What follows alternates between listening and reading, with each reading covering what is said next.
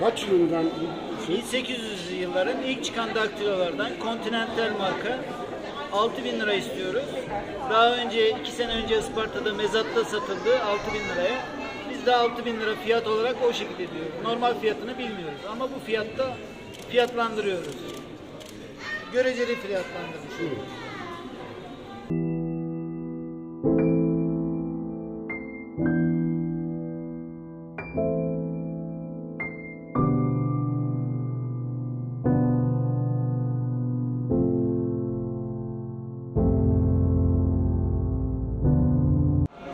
piyasa değeri 6-7 bin civarında.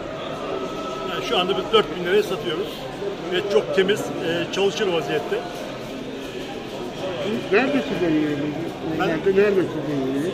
Gemilerde kullanılıyormuştu daha önce. Yani şurada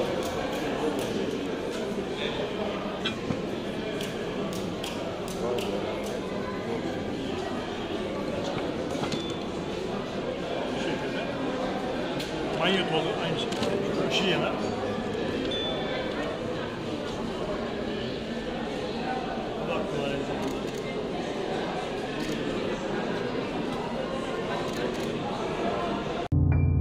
thank